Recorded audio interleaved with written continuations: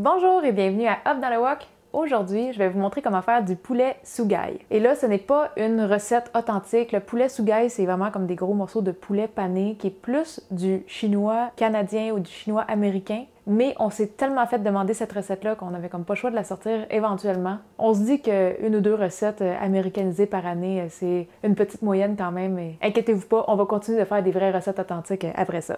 Et sur notre groupe Facebook, on vous avait demandé avec quelle sauce que vous vouliez qu'on vous fasse le poulet sougaï et la majorité, comme 95% des gens, nous ont demandé la petite sauce rouge, la sauce aux cerises, qui n'a pas de cerises dedans. Donc on va vous faire ça aujourd'hui et je vous dis, vous allez capoter. C'est vraiment comme le resto et c'est super facile à faire avec des ingrédients que pas mal tout le monde a déjà à la maison. On a aussi des gens qui nous avaient demandé des versions salées de sauce. Et parfois, le sugai va être servi avec une sauce salée, une sauce brune qui est faite à base de sauce d'huître et sauce soya.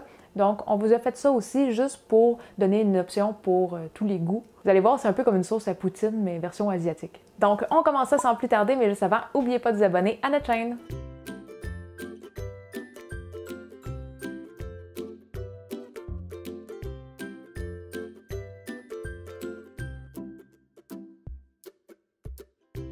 La première chose qu'on va préparer, ça va être nos sauces, parce qu'une fois que notre poulet est frit, on veut être capable de manger tout de suite, on veut pas perdre de temps à faire des sauces. Et on commence avec la sauce rouge. Pour commencer, on va mettre 165 ml d'eau dans une petite casserole et on va aussi mettre une demi-tasse de sucre qui est 115 g. Quand on met pas autant de sucre que ça, vous allez voir que quand on trempe nos morceaux de poulet ou de n'importe quelle nourriture dedans, ça fait pas assez de punch. Ça prend vraiment beaucoup de sucre pour que ça fasse une bonne différence. Une des saveurs principales de la sauce rouge, ça va être du ketchup. On va mettre deux cuillères à table et demie. Pour le côté vinaigré, on met 4 cuillères à thé de vinaigre blanc, une cuillère à thé de sauce soya claire. Et ça, c'est l'ingrédient magique qui va faire que la sauce est rouge sans mettre de colorant artificiel. Ça va être une demi-cuillère à thé de poudre de betterave. Et là, j'ai beaucoup de monde qui se demande tout le temps où est-ce qu'on trouve la poudre de betterave. Si vous voulez vraiment l'acheter en épicerie, ça va être plus comme dans les petits magasins bio ou euh, dans les rangées de, choses bio, mettons IGA, Métro, des places comme ça. Mais moi, ma poudre de betterave, je la fais maison parce que c'est vraiment pas compliqué à faire. On a juste besoin de betterave crue qu'on fait déshydrater et qu'on réduit en poudre. Si vous voulez vraiment voir comment le faire, j'ai pas fait de vidéo pour ça, mais j'ai fait euh, comme un petit tutoriel en photo sur mon blog. Donc, je vais vous mettre euh, le lien juste en dessous de la vidéo. Ça va peut-être vous aider à en faire vous aussi à la maison. Si vous voulez pas faire de poudre de betterave et que vous n'êtes pas capable d'en trouver, vous pouvez aussi juste mettre un petit peu de colorant rouge dans votre sauce. Et on va mettre une pincée de sel. Donc là, on va allumer notre feu. On doit amener ça à ébullition. On remue. Et pendant qu'on attend que ça arrive à ébullition, on peut tout de suite préparer notre fécule de maïs pour l'épaissir. On a besoin de 4 cuillères à thé de fécule de maïs avec 4 cuillères à thé d'eau. on va bien remuer ça. Comme là, ça commence à bouillir tranquillement, on va ajouter notre mélange de fécule. Et on va remuer jusqu'à temps que ça épaississe. On veut ramener ça à ébullition. Là, ça a bien bouilli. On ferme le feu. Et là, vous allez peut-être remarquer qu'on dirait qu'on voit des petits points blancs. Dans le fond, les petits points blancs, c'est vraiment la poudre de betterave qui n'a pas fini de se réhydrater. Il faut juste y laisser un petit 15-20 minutes de repos et vous allez voir que toute la poudre réhydratée va comme vraiment bien se mélanger à la sauce. La couleur va bien s'étendre aussi. Donc, on va laisser ça de côté et vous allez voir que quand on va revenir dans 15 minutes, la sauce va avoir changé un petit peu de look. Elle va être vraiment plus uniforme que ça encore. Donc, on met un couvercle et on va mettre ça de côté. Et là, on va faire la sauce brune. Pour la base de notre sauce brune, on va faire un roux. Donc, on va utiliser 25 g de beurre. Moi, je prends du beurre non salé parce que j'aime avoir une sauce un peu moins salée. C'est plus facile à ajuster à la fin au besoin. Si vous voulez prendre du beurre demi-sel ou salé, c'est correct aussi. Et à notre beurre, on va rajouter une cuillère à table et demie de farine tout usage. On va allumer le feu à feu moyen élevé. Et là, on va juste faire fondre le beurre avec la farine. Bon, sur un four à induction, on va y aller plus à feu moyen que moyen élevé parce que ça, chauffe un peu plus fort qu'un four normal. Je ne veux pas non plus euh, faire brûler mon roux. Fait que là, on va laisser ça pétiller un petit peu et tranquillement, pas vite, ça va brunir. On veut avoir une belle couleur rousse. On peut remuer de temps en temps aussi juste pour euh, essayer d'uniformiser la couleur un peu. Je peux commencer à sentir que ça commence à griller. Puis en le revirant, justement, on voit que ça commence à devenir un petit peu plus roux en dessous. rendu à ce point-là, on essaie de se concentrer parce qu'on ne veut pas non plus euh, le faire brûler. On peut réduire un peu le feu juste pour que ça aille moins vite. Et dès que ça va être assez roux, comme pas mal, euh, il me reste peut-être encore 5 secondes, je dirais, on va mettre une tasse de bouillon de poulet. Ouais, là, c'est à mon goût. Et on va aussi mettre une demi-tasse d'eau. Et moi, le bouillon de poulet que j'ai pris, c'est la petite poudre de la marque Nord. À notre sauce, on va rajouter une cuillère à table de sauce d'huître, une cuillère à table de sauce soya claire, deux cuillères à thé de sucre, une cuillère à thé de poudre d'oignon et on ajoute aussi un quart de cuillère à thé d'huile de sésame. Ne pas dépasser parce que ça va goûter juste ça. On veut pas que ça goûte trop non plus. Et là, on va mettre un petit peu de poivre blanc. Vous pouvez en mettre juste une pincée et aller jusqu'à un huitième de cuillère à thé. Nous, on va en mettre un huitième, mais si c'est un goût qui est peut-être un petit peu trop intense pour vous, faites juste réduire un peu. Et deux pincées de poivre noir moulu. Là, on va juste bien remuer ça et on va ramener ça à ébullition. Et même si on avait de la farine au début pour faire le roux, c'est pas assez pour épaissir la sauce. Donc, on doit venir épaissir avec de la fécule de maïs. Donc, on va avoir 5 cuillères à thé de fécule de maïs avec 5 cuillères à thé d'eau. On remue ça. Le ça commence à bouillir. On met notre fécule. On remue bien pour pas que ça fasse euh, des petits grumeaux blancs. Et on va laisser bouillir encore un petit peu juste pour que ça soit bien épaissi. On ferme le feu. Et là, on l'a épaissi pour que ça ait une texture parfaite quand elle est chaude. On va la mettre de côté, donc elle va peut-être refroidir un petit peu le temps qu'on fasse le poulet. Si c'est le cas, il va juste falloir la réchauffer un tout petit peu avant de manger le poulet. Parce que vous allez voir qu'en refroidissant, elle va peut-être s'épaissir un petit peu. Sinon, si vous voulez pouvoir la manger froide et qu'elle soit avec cette texture-là, faites juste rajouter un tout petit peu d'eau. Et vous pouvez aussi venir y goûter tout de suite, voir s'il y a des ajustements à faire, si vous la voulez plus sucrée ou plus salée. Hum, elle est bonne. Et là, avant de préparer nos morceaux de poulet, on va faire la panure parce qu'elle a besoin de reposer 15 minutes. On a besoin d'une demi-tasse de farine qui est 75 grammes. Et je prends de la farine tout usage. Un tiers de tasse de fécule de maïs, ou 50 grammes. Et on met aussi une cuillère à table de poudre à pâte ou de la levure chimique. C'est une grosse quantité, mais c'est ça qui va vraiment faire gonfler notre pâte. Et là, nous, on aime assaisonner ça avec un petit peu de poudre de bouillon de poulet, juste parce que du poulet sous gaille, c'est juste quand même une poitrine de poulet avec de la panure. C'est un peu fade. On essaie de rehausser les saveurs un peu. Avec deux cuillères à thé de poudre de bouillon de poulet, je vous dis, ça fait la job. Et pour un peu plus d'assaisonnement, on va mettre une pincée de poivre blanc. On va remuer nos ingrédients secs. Et là, on va rajouter une cuillère à thé d'huile végétale, de l'huile de canola, un œuf et 100 ml d'eau. Il faut que ce soit de l'eau super froide. Donc, mettez-la au frigo juste avant. Et si vous êtes au Québec en hiver, faites juste prendre l'eau du robinet parce qu'on a de l'eau glaciale naturellement. Et là, on va bien remuer ça. On remue euh, quand même euh, assez bien pour enlever tous les grumeaux. Je sais que des fois, il y a des panneurs qu'il ne faut pas trop remuer, mais là, on peut euh, se le permettre.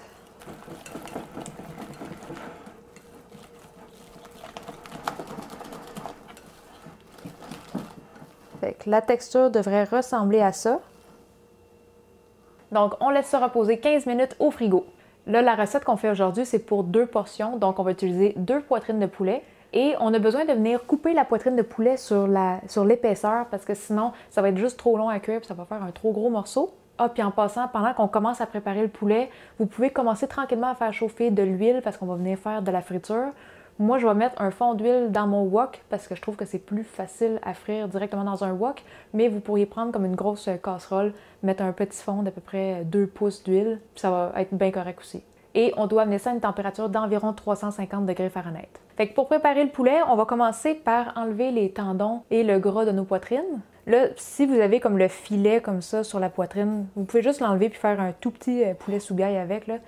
Ça va être plus facile à diviser si on a juste la poitrine. Donc, on essaye de venir couper à peu près au centre.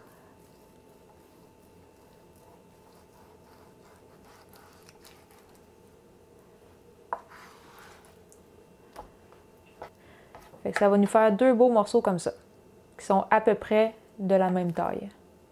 Fait que même chose avec l'autre, je vais juste enlever le petit filet qu'on va faire cuire à part. Je vais juste enlever le petit tendon ici parce que c'est pas le fun de croquer là-dedans on coupe notre poitrine en deux. Une fois qu'on a coupé nos deux morceaux de poitrine, on va venir les écraser un petit peu avec un marteau attendrisseur. on va juste mettre une pellicule de plastique par-dessus. Ça va éviter que tout le petit jus de poulet euh, revole sur Quitam.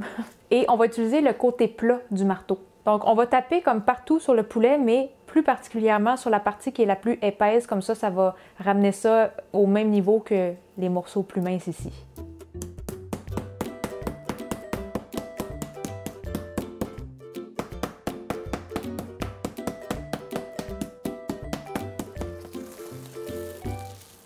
Ensuite, on va utiliser notre couteau et on va juste venir taper légèrement sur le poulet pour faire des mini encoches.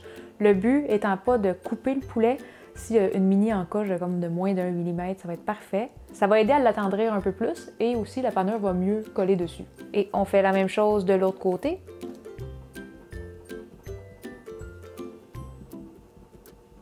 Et dernière chose pour la préparation du poulet, on va juste mettre une petite pincée de sel sur les deux côtés de chaque poitrine. Et on peut aussi mettre un petit peu de poivre noir.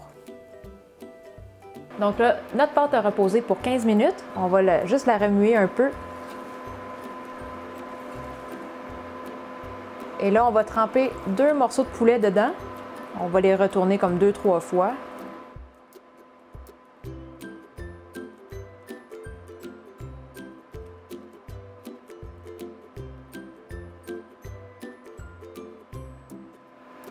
Et là, mon huile est à 350. On va venir déposer les morceaux de poulet délicatement quand même. On travaille avec de l'huile très chaude. On va juste égoutter un petit peu.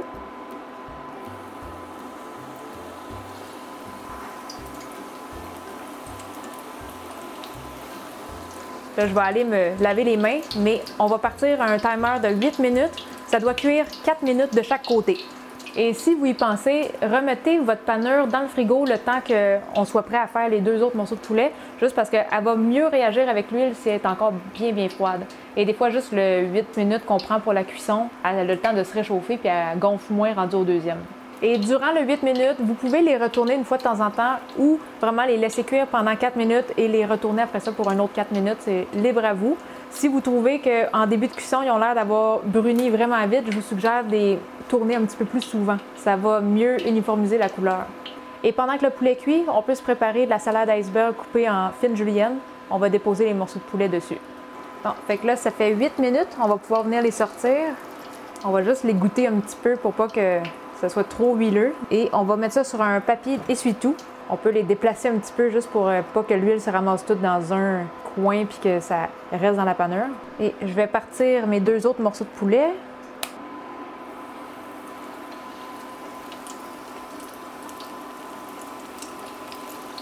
Et pendant que la deuxième batch est en train de cuire, je vais pouvoir couper mes premiers morceaux de poulet. on le voit qu'ils sont déjà super croustillants. Et la manière la plus efficace pour pas trop briser la panure, ça va être vraiment d'y aller d'un petit coup sec pour chaque tranche. Si on essaye des fois d'y aller doucement, on dirait que la panure, elle, arrache un peu des morceaux de poulet.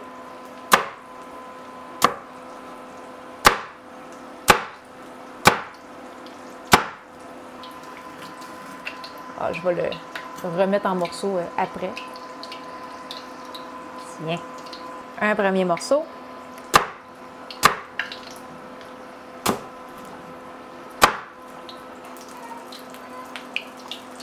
Donc là, nous, il reste à peu près 3 minutes et demie de cuisson pour les deuxièmes. On va finir de cuire ça. Ah, et Amy se réveille, donc euh, biberon time.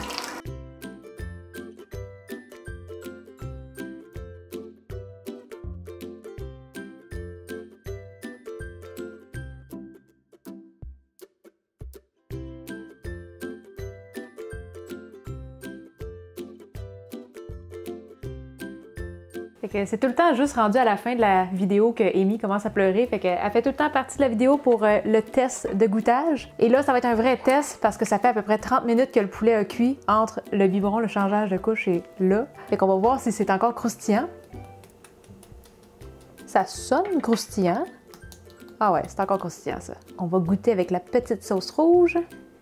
Ah là, ça c'est un bout avec beaucoup de pâte. Là. Il est peut-être moins croustillant un peu. Mmh!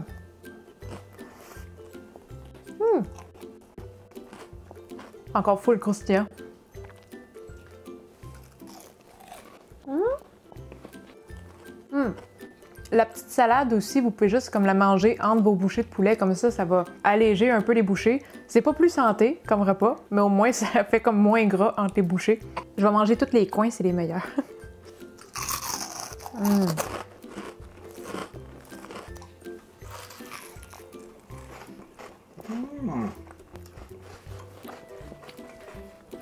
Normalement, je prends pas ce plat-là au resto, mais je dois le dire, la version de Christina clenche le resto de loin.